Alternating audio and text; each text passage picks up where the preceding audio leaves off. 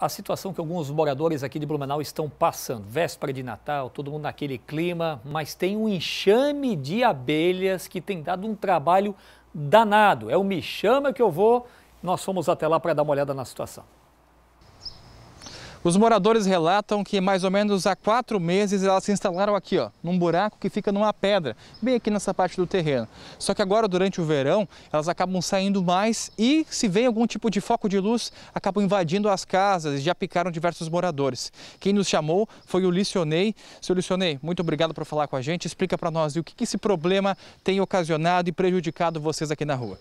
É, na verdade, tem sim ameaçado a, a nossa integridade, né? Porque se você faz a coisa errada, é, você vai ser punido pelo teu erro, né? Porque é um crime ambiental. Então a gente está procurando os meios legais, né? Já ligou para vários setores, ninguém res, é, resolveu o caso, né? E a gente resolveu ligar para vocês para ver se resolve o nosso problema, né?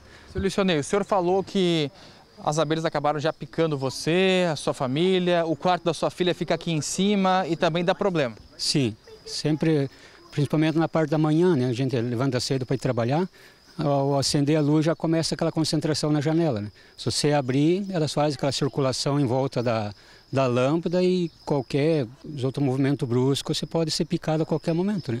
Você já foi picado? Já, já, já fui picado. Eu estava dando uma limpada aqui ao lado, né?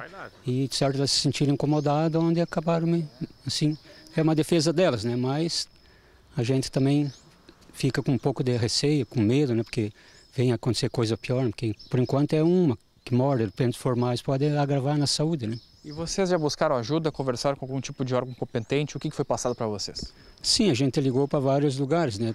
Principalmente para a prefeitura, que foi indicado pelo bombeiro, né? Porque o bombeiro não, não resolveu, disse que não era a área deles. Aí a gente ligou para a prefeitura, para a defesa civil, para a vigilância sanitária e ninguém até agora resolveu o nosso problema, né? E a gente está procurando um meio legal, porque se fazer a coisa errada, pode dar problema futuramente para a gente, né?